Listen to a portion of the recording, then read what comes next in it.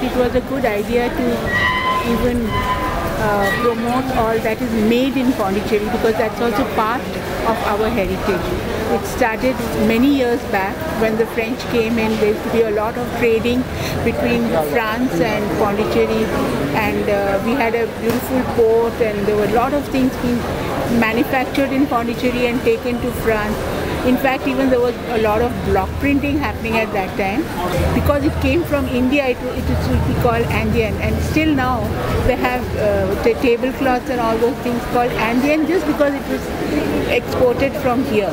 Now, we have even more things happening here with a lot of creativity and a cosmopolitan place. You know, people come with fresh ideas, and then it has become a part of our Pondicherry heritage. There was many surprises that came way, and we are very happy to, uh, in future, also promote our Pondicherry heritage made in Pondicherry.